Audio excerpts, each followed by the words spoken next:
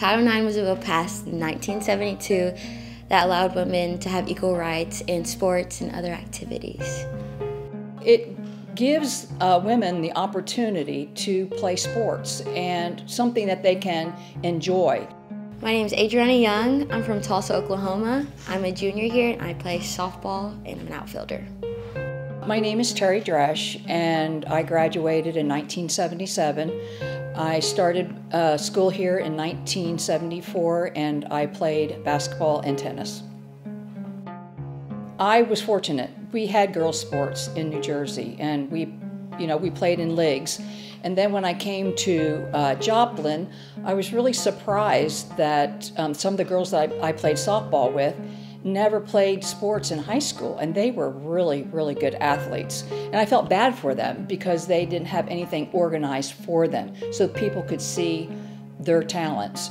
And just being on a, a team is so much fun, but they never had that opportunity like I did. I do think my participation in sports has helped me in so many ways. My time management skills, again, have been so much better just coming from high school and my work ethic. I never settle. I always want to be better every day and bring my all. So having that mindset is going to definitely help me in my future career.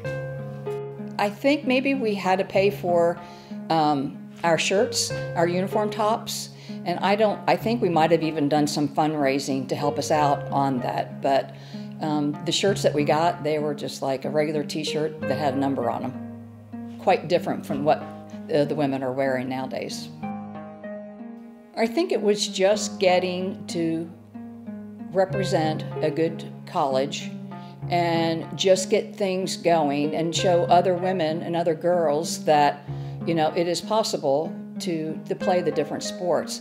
I, I loved it here because honestly, at this level, there was really no pressure on us because we were just beginning. And just being able to represent women at Missouri Southern, that was awesome. I can never uh, repay Sallie Beard for uh, what she has done for me, giving me a scholarship to go here, and through that, I uh, went into coaching because of her.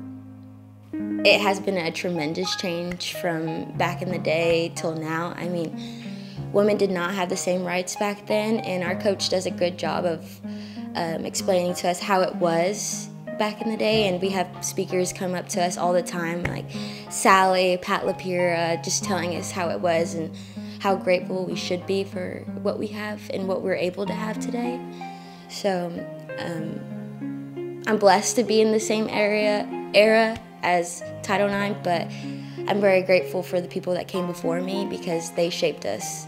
No, if it wasn't for Title IX, I wouldn't be coaching at all. We would be still having intramurals in the building, and the, the girls would never have the opportunity to compete against other girls and, you know, just seeing their ability against other, uh, other girls. Women's sports has gone crazy over the past years. I mean, softball just got recently aired on ABC, which is huge nowadays because it was not even on TV. And being able to watch the College World Series and seeing all those fans just coming to see the game and just waiting to get their tickets was just amazing. Just to be able to see like people are actually realizing that women's sports matter too. So yeah, I'm very grateful for that. And it's going to keep improving over the years, and I'm excited to see where it goes. So.